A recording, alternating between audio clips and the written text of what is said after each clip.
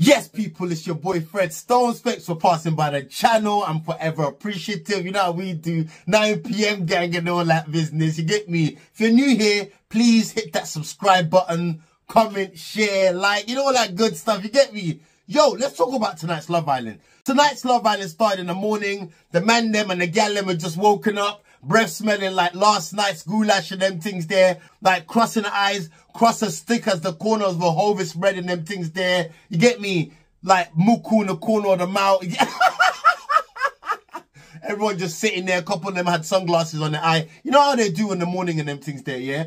And um, Jay was sitting there thinking about the whole Paige situation. Jacques seems at the beginning of the episode like he was in love. And Danica, I feel sorry for Danica. Yo! Danica's looking for a man, but a man ain't necessarily looking for Danica. Try to find a man for Danica is like, you probably find Madeleine McCann easier than them things there. You probably find footsteps on the moon quicker than them things there. But yeah, no one don't seem to be interested in her. She just seems like, get me, one of like Lucas Fish. Just no one don't care in them things there. But yeah, Dami and Ekin-Su was talking in the garden. They was sat in a little corner and them things there. Just a little quiet, little cozy corner. And uh, he was asking her about Davide and whether or not she thinks, or he thinks she has a chance or whether there's going to be a future for them two. But uh, she was saying, yeah, that um, she's still basically feeling Davide, but it might be too late. It's definitely too late you missed your flight. You you definitely missed your chance on that one. So Jay and Paige was talking in the garden and he's trying to like ask questions, trying to find out where her head is. Where's your head? Where's your head? Like joke. he's trying to navigate and circum circumnavigate and find out where, where she's going and them things there. And um, he's saying he doesn't want to, he just doesn't want to be like a, a Klingon. He doesn't want to be that guy who just lingers and them things there. But yo, his breath is lingering. He's lingering like a bad pup. Bro, this guy is lingering like an athlete's foot. You know when you got a man with a left, a smelly left foot, and he takes his sock off? That lingering smell. That's Jay. oh my God. That's definitely Jay. But she's saying to him, do you know what? Things ain't necessarily, she's saying to him there's still hope. Like, things are still, she's still open to get to knowing him. She's telling him she's open like a 24 hour shop and them things there. Like an off license. That's what she was telling Jay. And, um, yeah, he was, he, get me, at that point, he was still hopeful. She shut that down later. Uh, dead off. Everything get locked off, I'm telling you. But I think Paige, yeah, Paige shut him down later on in the program and them things there. But I feel like she could have shut him down a lot quicker, a lot sooner than him. But she just liked the fact that there was two willies, get me, two free willies just fighting for her. She loved it. Like, yeah, but my man was just lingering, just like a, get me, like a, like one of Lucas fishing and things there.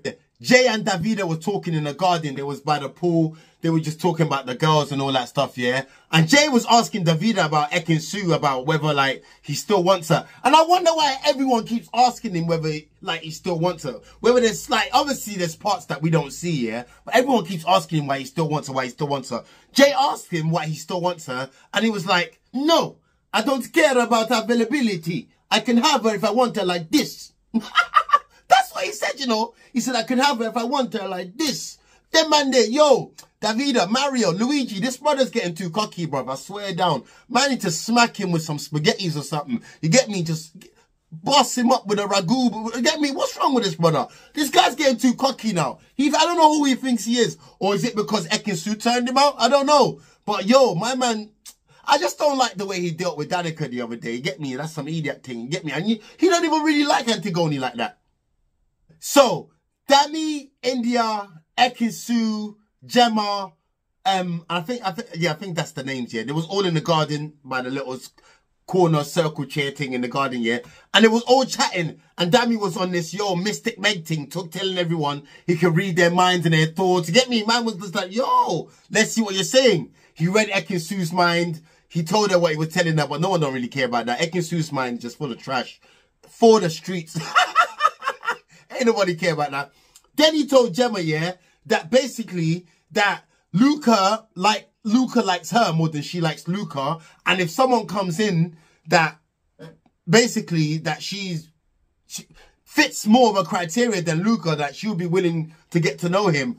And she was like, along those lines, she was like, basically, yeah, she agreed to it. And then straight away, egg and poo, egg and sushi, yeah. Egg, egg, yo, this girl went, I swear that she walked off like a thirsty ostrich. She walked off like a flipping crazy heifer. She just walked straight to flipping Jackson, um, Jackson Page. Sat down and straight away, this girl, she's a plant, I'm telling you. Yeah, she went straight over to Jackson Page, yeah, to tell them what had just been said and stuff, yeah. This girl is a poo starer. She's a doo-doo. Listen, she's a fudge starer. she likes stirring the... She's ambidextrous with it as well. She just be stirring with both hands and them things there. She's like a witch. I swear down. Listen, yeah. But yeah, and then basically later on, yeah, Paige and uh, Gemma was sat down and Paige was asking her, oh, so what, did you say blah, blah, blah? And Gemma was like, hold on, like, well, go on, like, where did this, where did, where did all this come from? And then Gemma got mad. Gemma started fuming, walked off. Yo, yo, it was a massive still, I'm not gonna lie. She walked over there, she stormed over there, stormed there like flipping Storm Eunice or something. You know them ones there, like some Hurricane Katrina. She went over there and she was like, oh, keep your business to yourself and all them things there. Ekin-Su was like, yo, just chill out, just chill, dude. You get me? You just chill. Ekin-Su was on this chill out thing. But eh, Gemma was giving her the smoke. She was smoking her batty and them things there. Gemma, do you know what? How could Ekin-Su, a grown-ass woman, be getting smoked by Gemma? Gemma, just Gemma's a baby. The girl still looks like her breast smell like flipping baby milk, like Cow & Gate and them things there. It looks like she just still came out of a flipping baby seat and them things there. How you getting torn off by this girl? Probably still getting pocket money and them things there. Come on, Ekin-Su, fix up. But you know what? In defense of Ekin-Su, yeah, she never did nothing wrong. She just, all right, she was gossiping. The only thing she did wrong there was gossiping. But she just, that's what, that's what um, Gemma admitted to. Am I wrong? Then Jax went and told Luca about it. Luca only just got wind of it like a bad fart and them things there, like one of his fish reminded him of home, yeah? And then he was like, he wasn't really too happy about it. And him and Gemma caught up and they sat down. She explained it to him about how the whole Dami was just reading everyone's minds and all that stuff and rare, rare, rare. But you know what? I feel like she was kind of, she weren't really forward with the truth. And there was kind of, I don't know, their relationship ain't secure. That's why they're both mad at each other. Or they're mad at Ekin-Su. Because Ekin-Su, what, like, apart from gossiping, what did she really do? Then Luca and Gemma called over Ekin-Su, yeah? And Ekin-Su came over, she, she was laying down comfortable in them things there. They asked her what she said. And she said it again with a surgically enhanced chest. She said it quite clear. And that's exactly what Gemma said. She ain't told no lies. You get me? Them two there are so, they're not, they're, their relationship is dead. Luca is so embarrassing. He's such an embarrassing fishmonger. The union of fishmongers should kick him out, box him out with a wet flipping sea bass or something. This guy is, he's embarrassing, bro. This guy, first of all, this girl is flipping a, a child. She's a flipping child. Bro, know he knows who her dad is. Do you know how I know he knows? Because Jax, Jax knows who her dad is. Jax knows her from the outside. So Jax has probably told him. He knows who her dad is. That's why, oh, bro, the guy's like a leech. Fam, I want to box him. That's just slipper at him. He was so embarrassing today. Jax was mad at Paige. Jax was mad at Paige because apparently he asked her to come into the pool with him.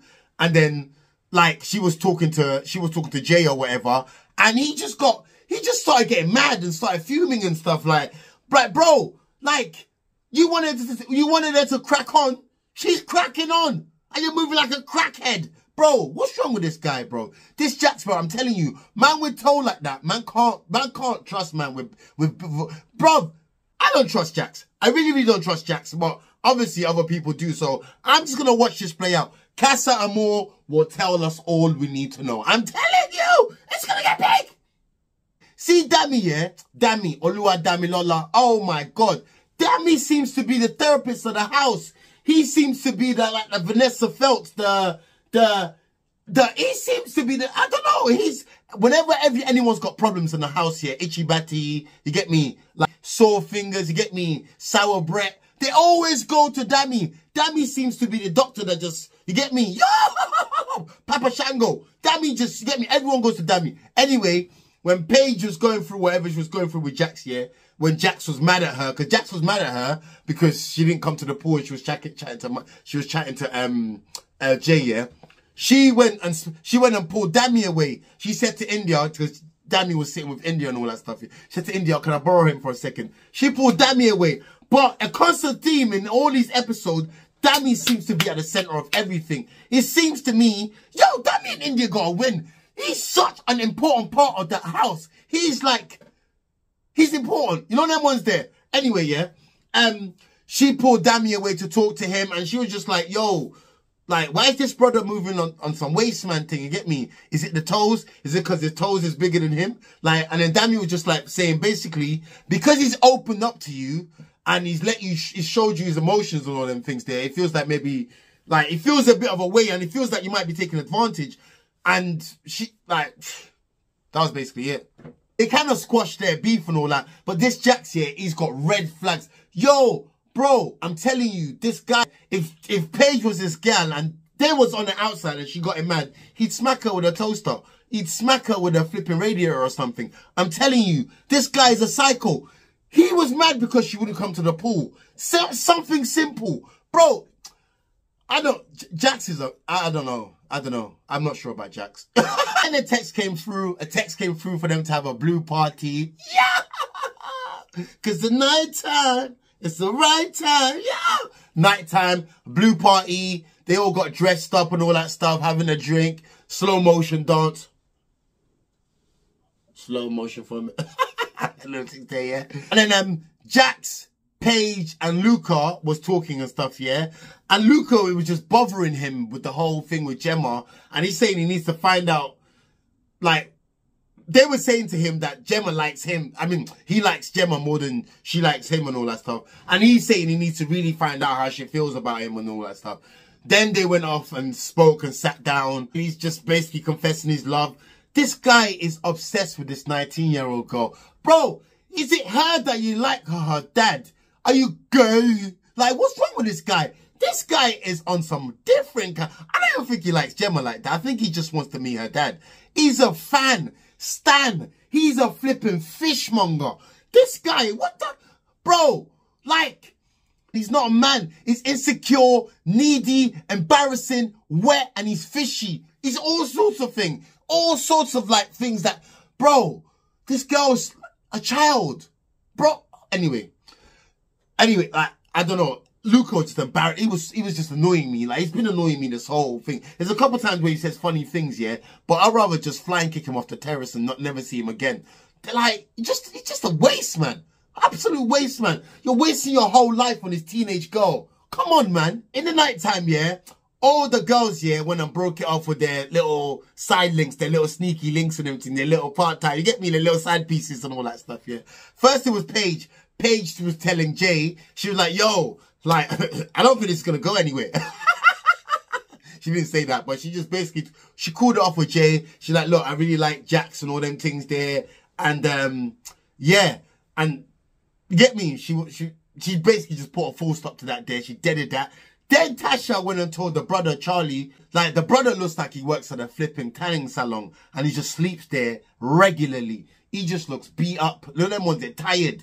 Then man, it, anyway, Tasha was telling him, do you know what? It was nice that he paid attention to her, but she's back with Andrew. It was his trim. Did you not see his trim? then man, they had the Oliver Twist, sir. Can I get some more trim? Yo, that trim was needy. that looked like flipping like a cereal bowl kind of kind of trim. Who gave him that Jay? No wonder them two got dumped, man. No style, no swag, no drip, nothing.